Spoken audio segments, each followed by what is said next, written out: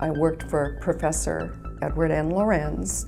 He had an LGP30 in his office, and he taught me everything he knew about the LGP30. Well, he'd hand me something saying, here's the instructions. That's what people used to do, right? So I saw they were advertising for programmers, and this was a new thing.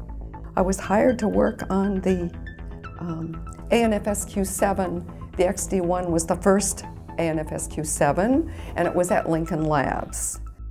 I found out about the Apollo program, so I thought, I guess I should delay graduate school again, because I'd like to work on this program that puts all these men on the moon. There was this one thing that they were worried about, what if the mission aborts? And everybody said, it's never going to. It just won't happen. Oh, well, good. We'll give this one to Margaret because she's a beginner and is never going to go there anyway. And sure enough, it aborted.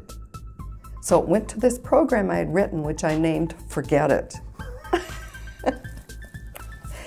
and all of a sudden, I became an overnight expert. So I, was, uh, I concentrated on the system software and then gradually took on, in addition to the system software, the command module software. And around the Apollo 8 time, taking over all of the onboard flight software.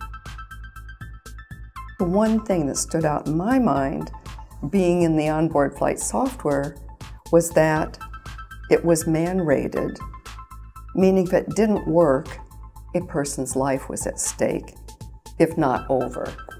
That was always uppermost in my mind and probably many others as well. Uh, had to be man-rated and it had to work the first time. You had to simulate the hardware. You had to simulate you know, the vehicle and the world outside of it. So you had the hope that you simulated everything so it was as much like the real thing as you could get it to be.